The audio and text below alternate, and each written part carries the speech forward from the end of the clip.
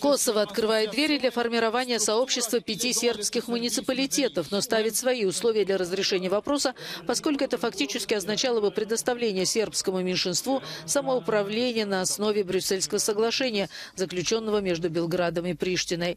Этот шаг дает сербскому президенту Александру Вучичу пространство для маневра, чтобы начать переговоры с некогда автономной областью, независимость которой Сербия не признает. Между тем, Косово признали 89 из 193 государств ООН.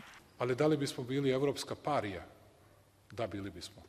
Gotovo potpuno izolovani, niko sa nama ne bi razgovarao, ne bismo imali pristup nikakvim fondovima, ali manje više.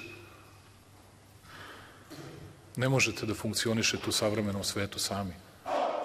Любое движение к признанию Косово сербские ультранационалисты считают оскорблением. Они обвиняют Вучича в намерении выполнить ультимативное требование Запада нормализовать отношения с Приштиной на основе франко-германского плана, предусматривающего членство Косово в международных организациях, включая ООН.